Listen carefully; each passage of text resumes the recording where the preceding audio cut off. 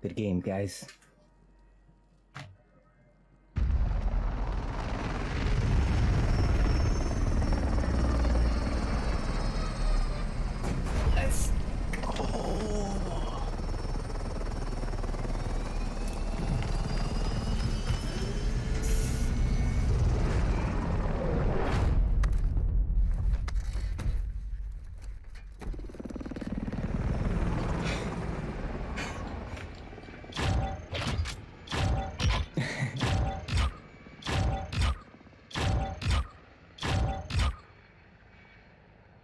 Thanks for watching, guys. Follow on TikTok.